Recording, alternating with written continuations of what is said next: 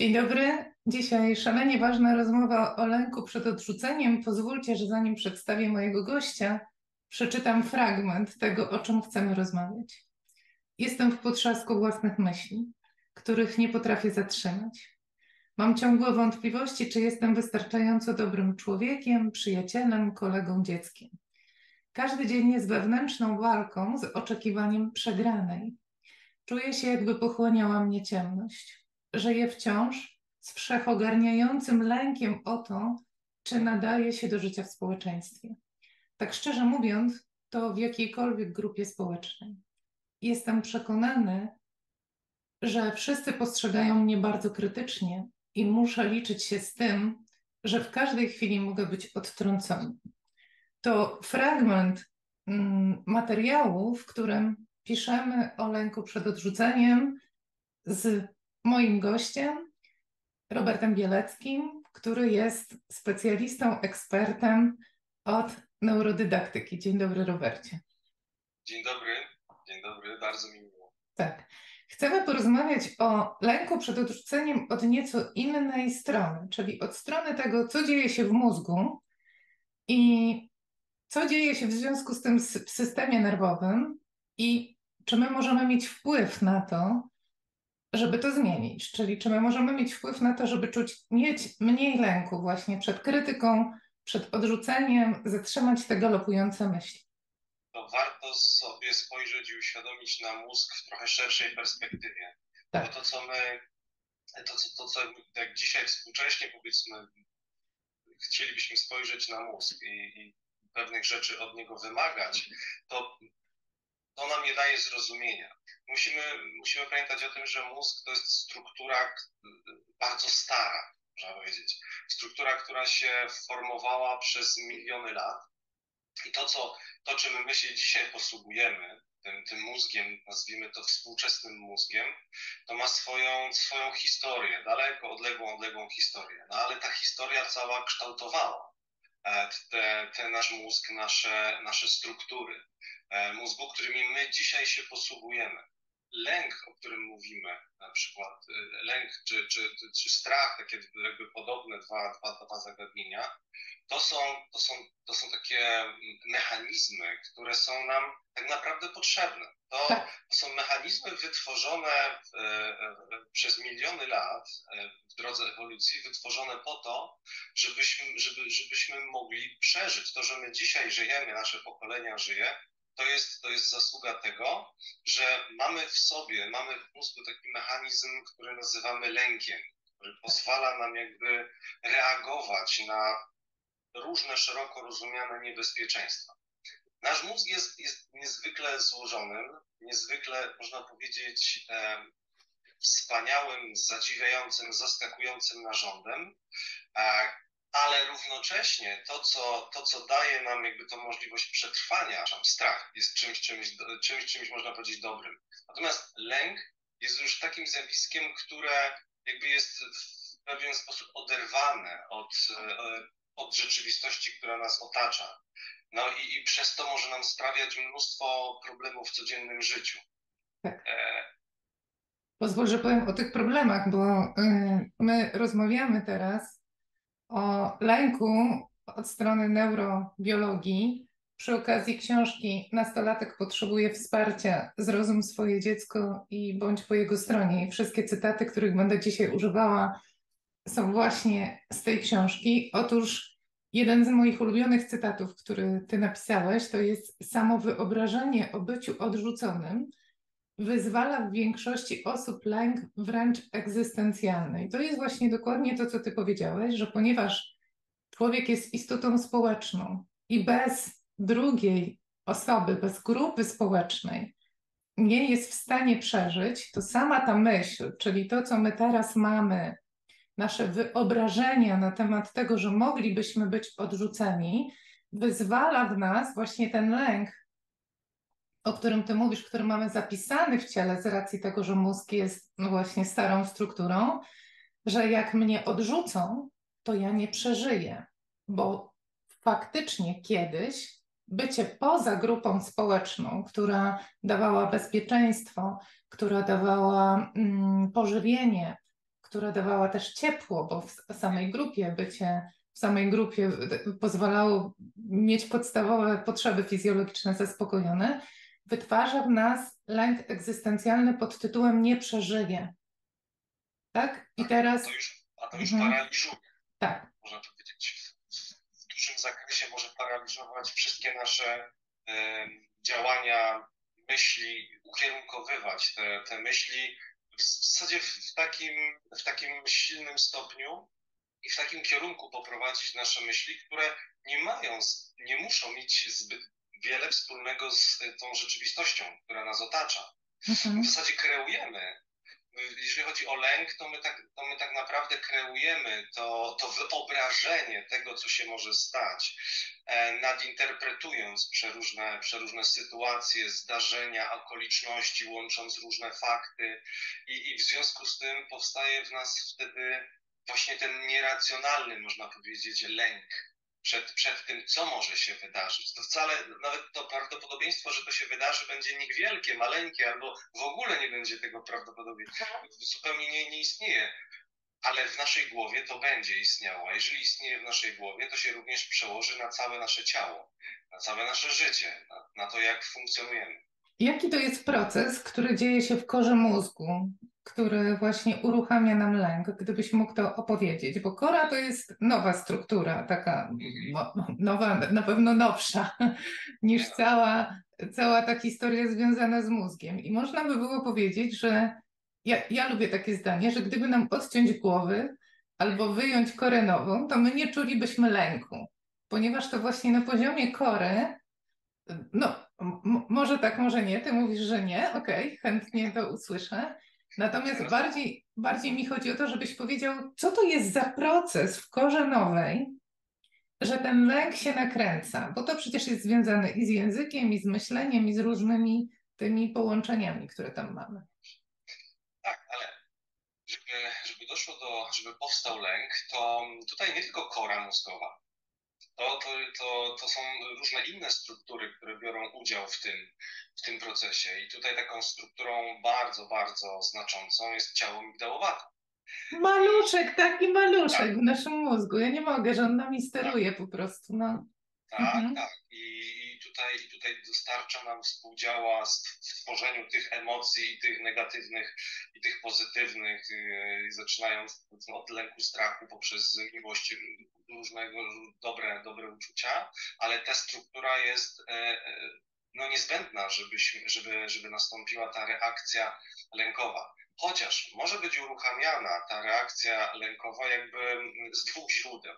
Mhm. Właśnie może być, czasami, czasami ta reakcja lękowa jest uruchamiana jakby takim pierwotnym, głównym źródłem jest ciało migdałowate. Tak. To, jest, to jest sytuacja, ja, ja w książce odwołuję się do takiej sytuacji, na przykład, że idzie sobie, idzie sobie ktoś ulicą, myśli sobie o czymś tam e, swoich, w swoich myślach gdzieś tam zatopiony i nagle gdzieś tam wyczuwa, słyszy z tyłu za sobą y, szybko, szybkie kroki zbliżające tak. się do niego i, i czuje gdzieś tam rękę na ten. W tym momencie, w zasadzie w sekundę uruchamia właśnie ciało migdałowate, uruchamia taką pamięć emocjonalną z różnymi sytuacjami i następuje całe poruszenie jakby, jakby, jakby niezależne od nas y, w dużym stopniu tego, jak my zareagujemy, ten lęk, co się, co się może wydarzyć. Czyli pojawia się bodziec zewnętrzny, bo to jest bardzo ważne. Pokażmy dwa procesy. Czyli jest faktycznie bodziec zewnętrzny, ktoś mi w ciemnym parku kładzie rękę na ramieniu i to uruchamia moje ciało i ten lęk, albo inaczej, siła lęku jest zależna od pamięci ciała, czyli jest zależna od tego, jakie ja mam wcześniejsze doświadczenia związane z kładzeniem mi ręki na ramieniu, jakie mam informacje w głowie na temat tego, co się dzieje w ciemnym parku, czyli y, reakcja jest zależna od tego, co mam już w głowie, ale ważne jest to, że jest faktycznie zewnętrzny bodziec. I można by było powiedzieć, że reakcja jest uzasadniona. To jest ten, ten, ten pierwotny, ten strach, który jest w nas wyzwalany po to, żebyśmy prostu, żebyśmy nie zginęli, żebyśmy mogli zareagować natychmiast w zasadzie na daną sytuację. I to jest jak najbardziej uzasadnione. Oczywiście po chwili to się tam okazuje, że aha, ta ręka na moim ramieniu to był na przykład znajomy, który tam mnie gonił i dogonił mnie i położył mi rękę. Aha, i wszystko nagle e, zostaje stonowane i wraca do normy. Albo ktoś, kto biegł za mną, bo ja właśnie zgubiłam e, klucze i tak. chciał mi pomóc. Czyli okazuje się, że to wcale nie było nic negatywnego. Napięcie schodzi. Mhm. Albo, po, albo portfel. A. Portfel i chce mi oddać portfel biegnie za mną. I, i teraz to, to, co ciekawe jest, że kiedy mamy doświadczenie, że po sytuacji lękowej okazuje się, że mamy pozytywny bodziec, czyli nic się nie stało, to y, znowu mamy taką sytuację, że pamięć ciała y, pozwala nam potem reagować mniejszym napięciem na podobny bodziec, bo my potrzebujemy też pozytywnych doświadczeń, żeby czuć mniej lęku. Tak, tak, bo ta, ta regulacja następuje płynnie cały czas i to w zależności od tego, od naszych doświadczeń życiowych, czy one będą przeważać będą te negatywne bardziej, czy te pozytywne, to, to następuje ciągła regulacja w naszym mózgu, w naszym ciele, w, w naszym układzie.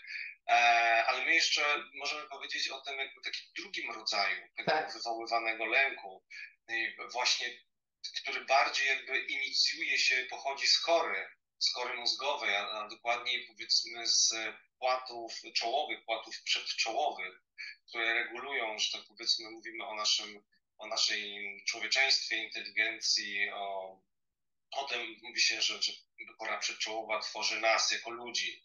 I to jest bardzo skomplikowany twór, faktycznie wiele, wiele połączeń, które ma, które, wiele połączeń z innymi strukturami mózgu.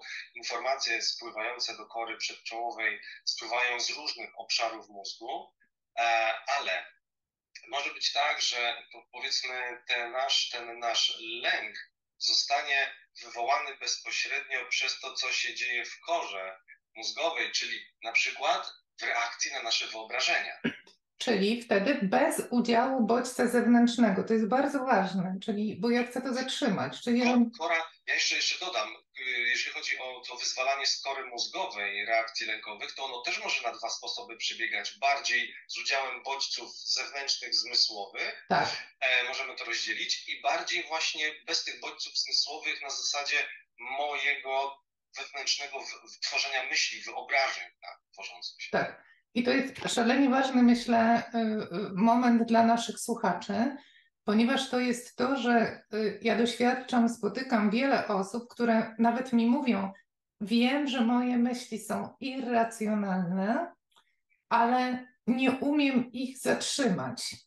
Czyli tak. zaczyna się galopada, zaczyna się, no właśnie, tworzenie kolejnej, kolejnej i kolejnej myśli, tworzy się sieć połączeń i cały człowiek wchodzi w lęk, odrywając się od sytuacji, która realnie nie daje żadnych powodów do lęku. Dlaczego tak się dzieje? Tak, to jest, to jest, ta, to jest, to jest irracjonalne wtedy, mhm. ale, ale jeżeli my mamy pewne schematy myślowe, e, e, a przecież na to, na to, jak my reagujemy, y, decyduje wszystko, co się dzieje w naszym życiu, od dzieciństwa, od, tak. od wczesnego dzieciństwa. Jeżeli, jeżeli ktoś wychowywał się w, w sytuacji w, sprzyjającej e, w, wywoływaniu strachu, wywoływaniu lęku, niepewności jakiejś takiej życiowej, braku wsparcia, to tak. wszystko powoduje, uruchomienie poprzez, poprzez korę oczywiście mózgową, poprzez zmysły, które, mm, poprzez które docierają te sygnały, ale również powoduje uruchomienie ciała migdałowatego, bo bez tego nie może być tej pełnej reakcji. Mhm. Jeżeli ciało migdałowate e, uwarunkuje się e, na takie e, reakcje w, naszym życiu występujące, no to później te schematy, ta, ta łatwość jakby wydzielania nadreakcje, że tak powiem, to wszystko będzie miało wpływ na, na, na, na, na to, jak w dalszych latach naszego życia będziemy interpretować to, no bo to też jest później interpretacja y, różnych sytuacji, percepcja, która przecież percepcja jest pewnym odbiorem bodźców poprzez zmysły, ale dalej interpretacją, ale jaką interpretacją? Interpretacją opartą na czym? Na tym, co już mamy poukładane i, i włożone do naszych mózgów. Na tym możemy interpretować. Czyli interpretacją opartą na dwóch rzeczach się zatrzymam, bo powiedziałeś dwie szalenie ważne rzeczy. Pierwsza, interpretacją opartą na negatywnych doświadczeniach, które były faktem. Czyli tak. może być tak, że my w dzieciństwie słyszeliśmy, nie ma się czego bać, nie bądź mazgajem, albo słyszeliśmy te straszenia wszystkie pod tytułem nigdy w życiu do niczego nie dojdziesz. Takie zdanie, które ja najczęściej słyszę od pacjentów lękowych, to jest, bo pan cię zabierze, albo jak będziesz niegrzeczna, to cię oddam dziadkom, albo okropne, naprawdę okropne zdanie, jak będziesz niegrzeczny, to cię oddam do domu dziecka. Czyli, że, że te zdania, które wiązały się z tym, że nasze zachowanie, które nie spełnia oczekiwań, oznacza oddanie, oznacza odrzucenie, one faktycznie w naszej korze są, ale jest jeszcze druga szalenie ważna rzecz, którą powiedziałeś spontanicznie, a nawiążę do książki. Nie dostawaliśmy wsparcia w lęku. Czyli można by było to tak połączyć, to co, to, co mamy zapisane w korze, to mamy zapisane, że y, jesteśmy poddawani zastraszaniu, co budzi lęk przed tym, że to się wydarzy, a kiedy czuliśmy lęk, to ten lęk był bagatelizowany, że nam mówiono, nie ma się czego bać. I to jest to, co my robimy też teraz właśnie dzieciakom pod tytułem nie rób scen, nie dramatyzuj.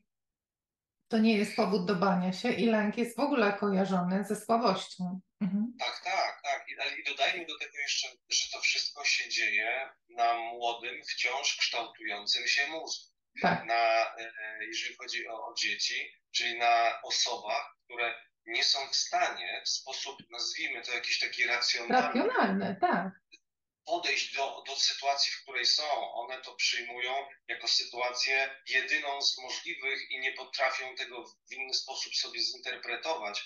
Czyli to w nich zostaje tak, jak jest, na, na poziomie tego przeżycia negatywnego. Mhm. Zostaje to.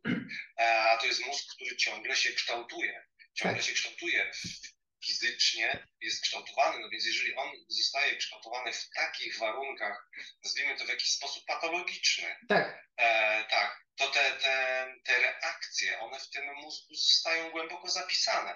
Tak. Co nie oznacza, że nie można ich zmieniać. To zaraz do tego przejdziemy, co z tak. tym zrobić. Natomiast jeszcze pozwól, że się na sekundę zatrzymam, bo kolejny mój ulubiony cytat z tego, co napisałeś, to Zauważmy, że jest to interpretacja nie mająca oparcia w faktach.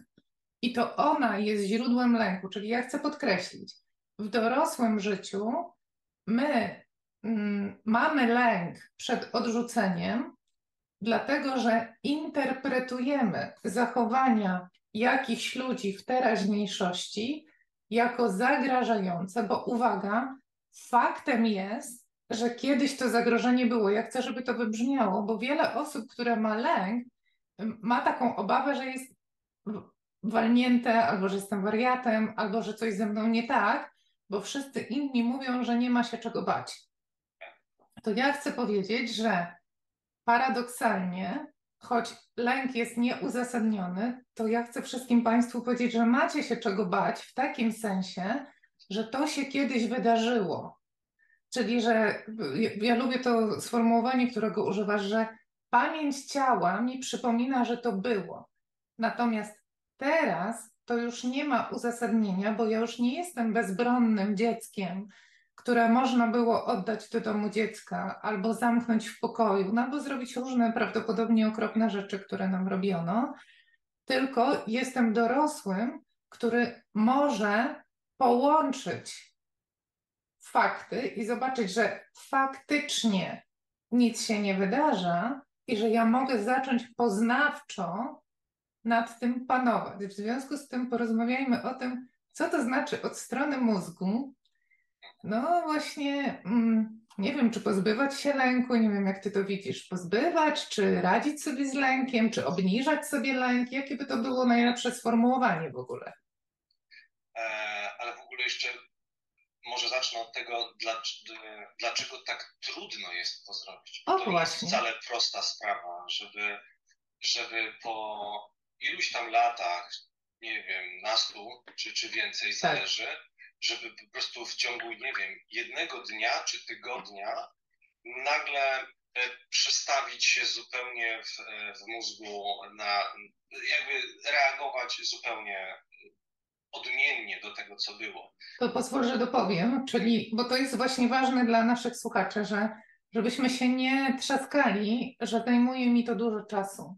Tak, że tak. praca z lękiem to jest bardzo długi proces. On naprawdę wymaga czasu, bo wymaga zmiany struktur w mózgu po prostu i bądźmy dla siebie cierpliwi, dobrzy i wyrozumiali. Dzięki, że o tym mówisz. Mhm. Tak, tak, tak. Przecież przez te wszystkie lata zapisywanie tam na poziomie mikro, w połączeniach synaptycznych, w reakcjach, w tych y, y, obwodach. Tam latami następowało zapisywanie tych, tych schematów jakby reakcji.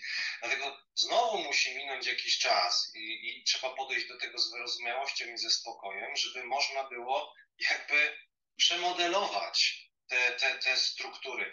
Musimy pamiętać o tym, że mózg jest przez całe nasze życie jakby takim jednym wielkim placem budowy. Tak. Ja mówię na tym poziomie mikro. Tak. To jest, to jest jeden wielki plac budowy i my jesteśmy w dużym zakresie budowniczymi tego naszego placu. Fajne, lubię to.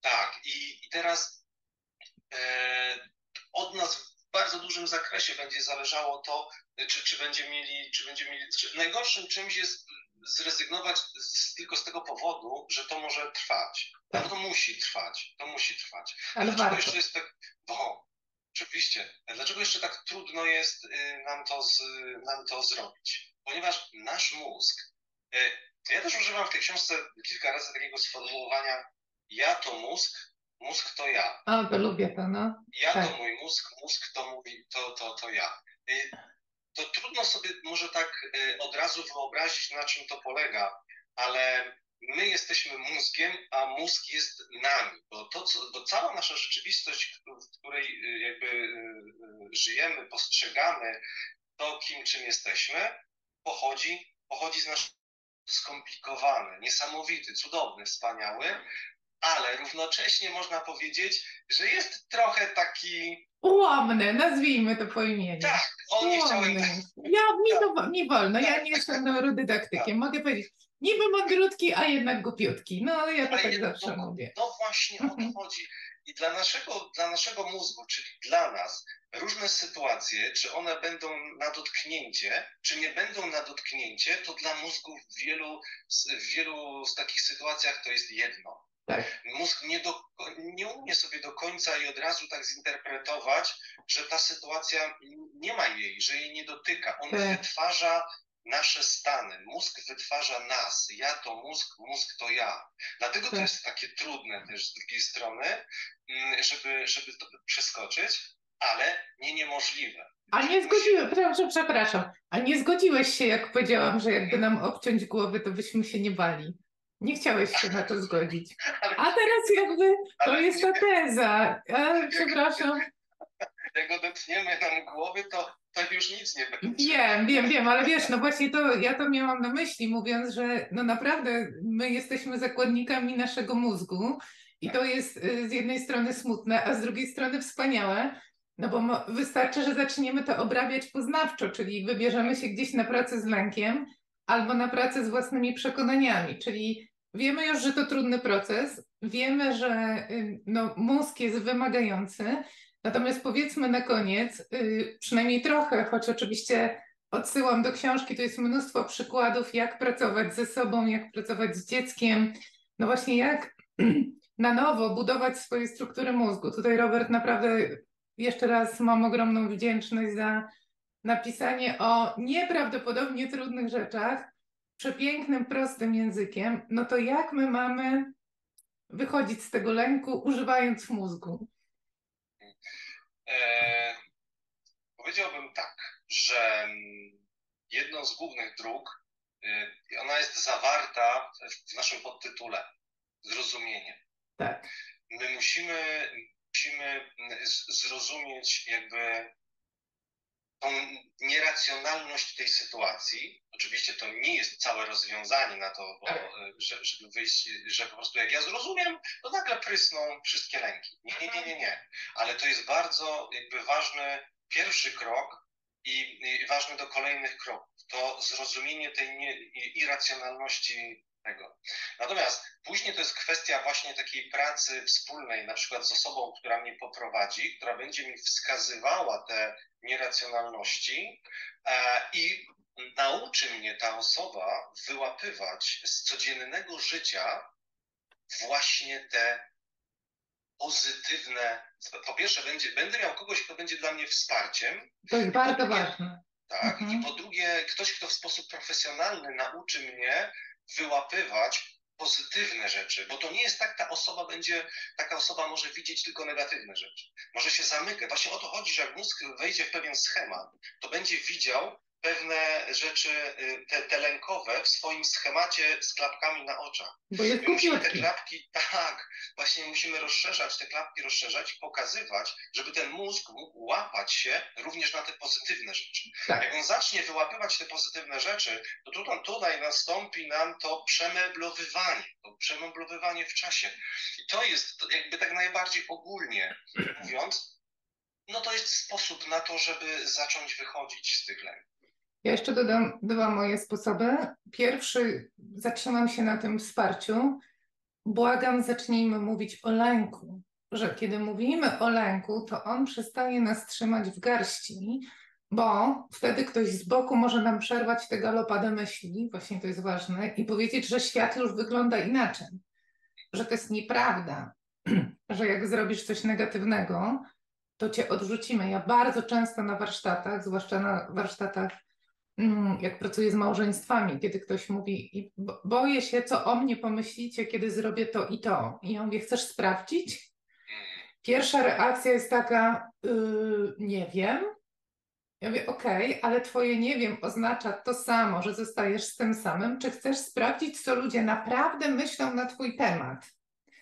I to jest taka bardzo ważna rzecz, że kiedy ja mówię o tym, że się boję, co o mnie myślicie, to żeby do, sobie dać szansę usłyszeć, że jest inaczej. I trzecia rzecz, to jest zmiana przekonań na swój temat, czyli szukanie dobra, sprawdzanie, jak to faktycznie wygląda, ale też, że ja nie jestem osobą, którą należałoby odrzucić, że ja nie jestem głupi, głupia, że ja nie jestem łajzą życiową, że ja nie jestem leniem, który nie zasługuje na uwagę, tylko że ja mogę, pracując z odkrywaniem swoich zasobów i swojego potencjału, no właśnie to jest szalenie ważne. Dziękuję, że Ty to mówisz. Przebudowywać mózg, bo jeżeli my mamy nowe struktury i nowe połączenia, to w sytuacji, kiedy następnym razem wejdę w nową sytuację, która normalnie budziła lęk, to mój mózg już ma do czego sięgnąć, a wcześniej nie miał do czego sięgnąć. On po prostu musiał korzystać z tego, co miał. Dokładnie tak. Dokładnie tak, na tym to polega, tak. Ale to jest, to jest, to jest powolny, dosyć żmudny. Czasami dla niektórych zależy, jaki, o jakich lękach mówimy faktycznie i na jakim poziomie to jest. Natomiast tak czy siak, zawsze, zawsze tutaj potrzeba czasu, czasu ponieważ struktury mózg, mózg y, najlepiej i to, co potrafi najlepiej mózg? Uczyć się. A, się. ładne. Przecież wszystko jest, wszystkie nasze zachowania są wyuczone w, pew, w, pewien sposób, prawda? No więc jeżeli ja wyuczyłem taki, a nie inny sposób zachowania, to ja teraz jakby muszę nadbudować trochę nad tymi strukturami, które były, ja muszę je przebudować, nadbudować, żeby, żeby mieć jakby tą opcję drugą, że ja będę, aha, mógł powiedzieć, no spoko, spoko, spoko, ja już teraz widzę jakby inną możliwość, nie? Tak, tak, i nad tym będę pracował. Robercie, to potrzebuję, żebyś ty jako specjalista to powiedział, bo kiedy ja to mówię jako psycholog i psychoterapeutka, to ludzie mi nie wierzą. Czy w każdym wieku można przebudować mózg? Czy jak się ma 48 lat, to nie jest za późno? Ale 48 lat to jest bardzo jeszcze młody wiek. To jest młody mózg, prawda? To jest tak, tym bardziej, że to wszystko, wszystko się przesuwa. Tak. Gdybyśmy porównali pokolenia tam przed 30, 40, 50 lat, to ta jakby ten socjologowie przesuwają te granice, kiedy jest tam młodość, średni wiek, późny i tak dalej. Tak. tak, ale wracając do pytania, jak najbardziej. E, oczywiście, bo tutaj moglibyśmy zrobić sobie osobne spotkanie i moglibyśmy mówić o czymś istotnym tutaj dla tego pytania, czyli o neuroplastyczności. I teraz mhm. oczywiste to jest, że neuroplastyczność jest naj, najbardziej jakby taka funkcjonalna w młodym wieku. Tak. U dzieci, tak, u nastolatków jeszcze, ale e, ona z czasem jakby mm, spowalnia ta, te możliwości neuroplastyczności, ale nie zanikają. To nie jest tak, że tak jak dawniej sądzono, że do okresu dojrzewania to tak, a po okresie dojrzewania to już tylko umiera ten mózg, umiera, umiera każdego dnia i już się. Nie, nie, nie, nie. Właśnie dzięki neuroplastyczności możemy zmieniać swoje zachowania, swoje reakcje do końca życia, do ostatnich dni do czego wszystkich Państwa serdecznie e, zapraszamy. Moja ogromna prośba do Was jest taka, ponieważ z Robertem rozmawiamy pierwszy raz. Jak widzicie, jest to fascynująca przygoda po fascynującym organie pod tytułem mózg. Napiszcie proszę w komentarzach, co było dla Was ważne, co było ciekawe, ale też o czym chcielibyście usłyszeć, jeśli chodzi o mózg, bo my mamy przygotowane dla Was różne tematy, ale może jest coś, co jest dla Was ważne w kontekście życia. Dziękuję serdecznie, Robercie, i odsyłam oczywiście do książki i do Twoich artykułów, które czyta się z przyjemnością, bo są fascynujące. Bardzo dziękuję. Ja również za, za, tą, za tą świetną rozmowę i pozdrawiam wszystkich i do zobaczenia, mam nadzieję, do usłyszenia. Dzięki wielkie.